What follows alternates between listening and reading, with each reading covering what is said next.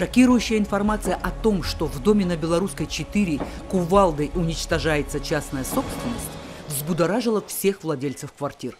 Отказываясь верить в случившееся, они попытались лично узнать, как обстоят дела с их недвижимостью. Но, как оказалось, на территории города Сочи, обеспеченной Конституцией права собственности, действуют весьма избирательно. Владеть квартирой можно, зайти в нее нельзя – Издалека наблюдать, как рабочие бригады, разрушающие имущество, заезжают и выезжают с объекта, тоже можно. Но пройти на территорию своего дома строго запрещается.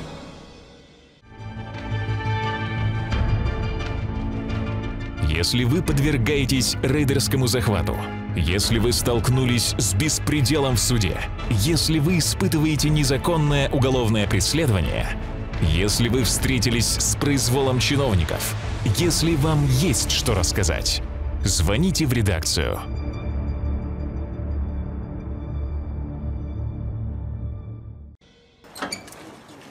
Нельзя. Посторонним нельзя. Почему а вы не посторонние? Вы посторонние. Нет. Да. Здесь у нас э, квартиры. Нет, у вас уже здесь нет. У нас есть, у нас есть Ну, права. У нас есть право. Ну и что, все, здание на снос, какие проблемы?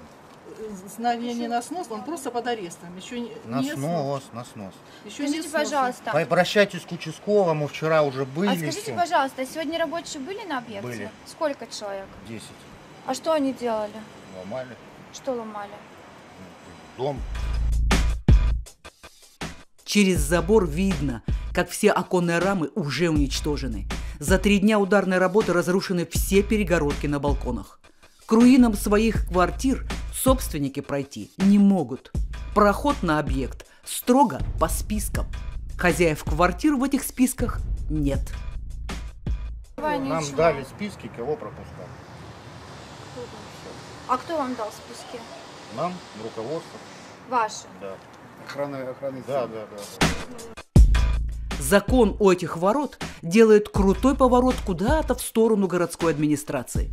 Собственники уверены, что такое отношение к ним формируется далеко не в будке охранника. Насколько это законно и правильно, этих вопросов здесь уже не задают.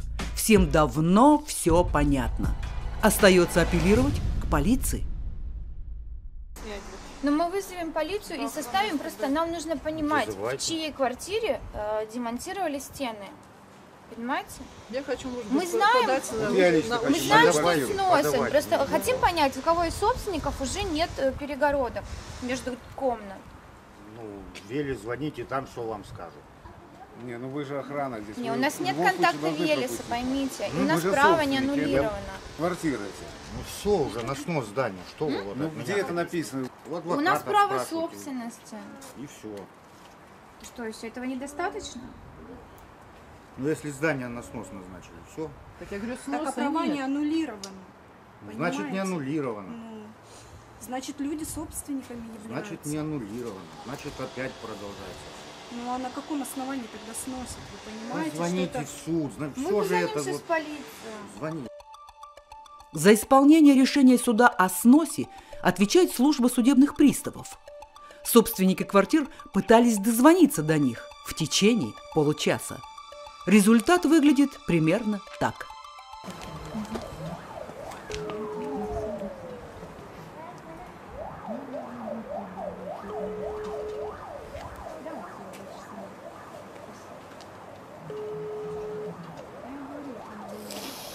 Ну вот я подержу, а вы уже как бы,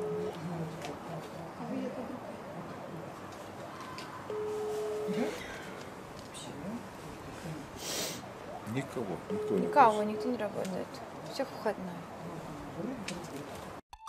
Судебные приставы в этот день оставили проблему на белорусской без внимания. Адлерский отдел полиции на первый взгляд оказался более внимательным. Мы собственники квартир на улице Белорусской в доме, дом 4. В настоящий момент здесь производятся демонтажные работы. Хотя нас не пропускают на объект. Хотя е... Да, у нас право собственности, у нас квартира в этом доме. Какие-то люди производят демонтажные работы, разрушают наш дом, общее имущество. Разрезают ваш дом? Разрушают. Разрушают. Но мы не хотели бы, наверное, мы хотели бы точно, чтобы приехал участковый и зафиксировал наше обращение. А через сколько подъедет участковый? Хорошо, спасибо. Будем ждать.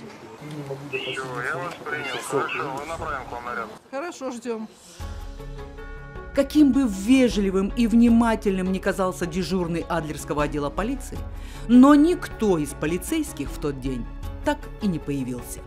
Попытки администрации города лишить владельцев квартир на Белорусской их имущества еще находятся на рассмотрении в Адлерском суде. Но сами квартиры уже оказались за решеткой.